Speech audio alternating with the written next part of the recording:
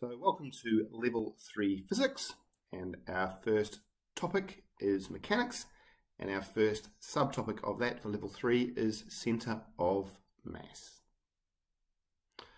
So the centre of mass is useful for studying collisions which we'll look at in more detail when we do um, conservation of momentum, uh, also explosions and a range of different motions.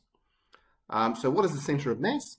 Well, the centre of mass is essentially the point with total mass x, uh, also known as the centre of gravity.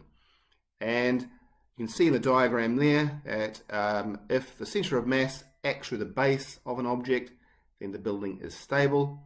When, if it doesn't, then it's going to fall over and collapse. And an example of that is the Leaning Tower of Pisa.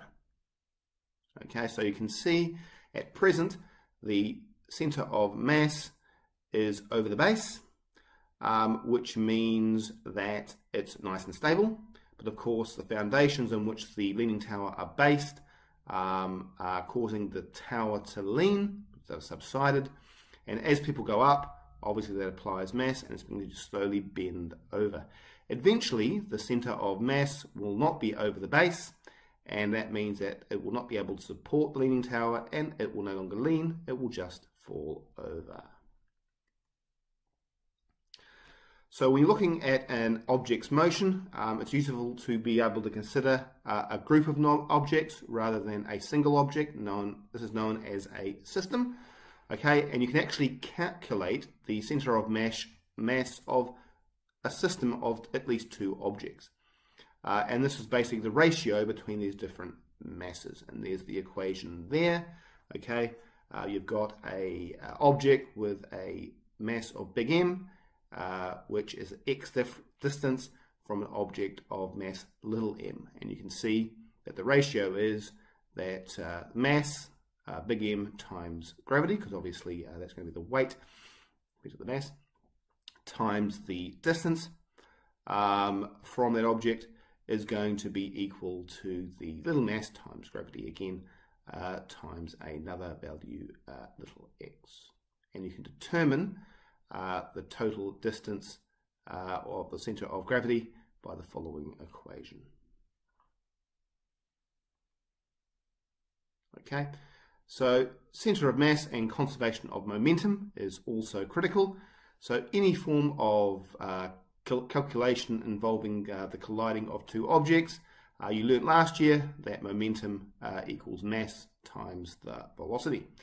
And it also says um, that the law of conservation um, can be used for these isolated systems of two objects.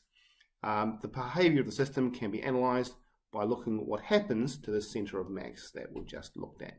Okay, so the momentum of the system equals the mass of the system plus the velocity of actually the center of mass.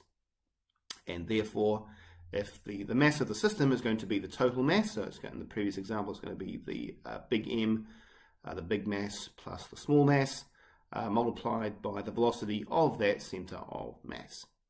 And if the system is isolated, and what I mean by isolated is no uh, external um, forces coming into it, uh, then that momentum will not change. Okay, the masses of the individual particles also remain um, constant, um, thus, the velocity of the center of mass is also constant.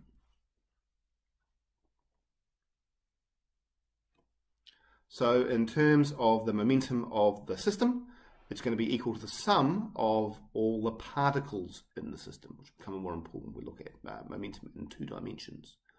Um, so in the particular case that we used, the momentum of the system will be the big mass plus the small mass times the velocity of that center of mass, and therefore if you uh, rearrange it you can see the, the sum of those two masses multiplied by the velocity of that center of mass um, will equal the, the mass of the velocity of that, that big mass plus the, the mass of the velocity of the small mass.